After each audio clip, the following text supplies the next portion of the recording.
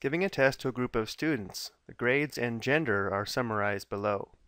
If one student was chosen at random, find the probability that the student got an A. So we want to find the probability that a random student received an A. Looking at the table, notice how this column here tells us the number of A students. There were a total of 30 A students, 13 of which were male, 17 of which were female.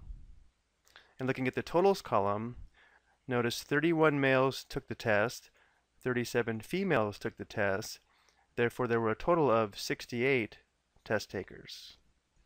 So of the 68 test takers, 30 received A's.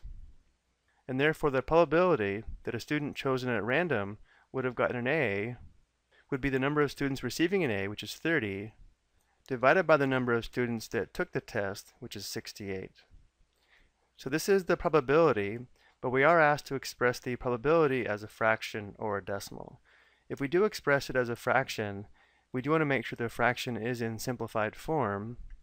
Notice 30 and 68 do share a common factor of 2, and therefore as a fraction, the probability of an A would be 15 34ths.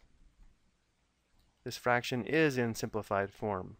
But let's also give the probability as a decimal, and even though it doesn't ask, as a percentage. So to convert the fraction to a decimal, we'll divide.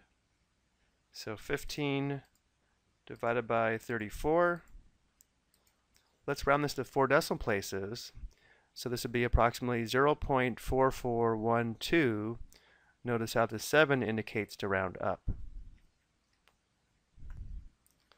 So the decimal value is going to be an approximation 0.4412. Let's also write this as a percentage.